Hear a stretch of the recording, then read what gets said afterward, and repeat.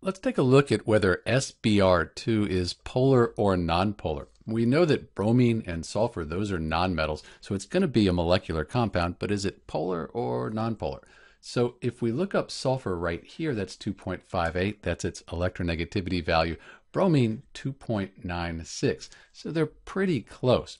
And we can use this general rule of thumb here to figure out whether it's polar or nonpolar. So we say if we have a difference of less than 0.5, we'll have a nonpolar compound. And this is less than 0.5, so we would say that this is nonpolar. But let's take a look at the molecular geometry for just a moment.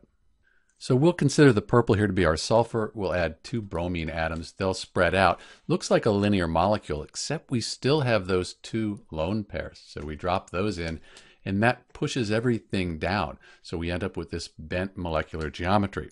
So remember that the bromines were a little more electronegative than the sulfur.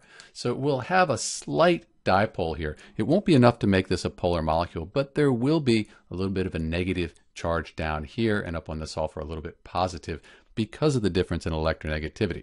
So even though it's nonpolar covalent, it's not too far from being a polar compound. Let's go back to our Lewis structure.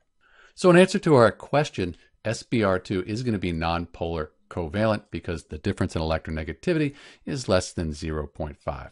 This is Dr. B, and thanks for watching.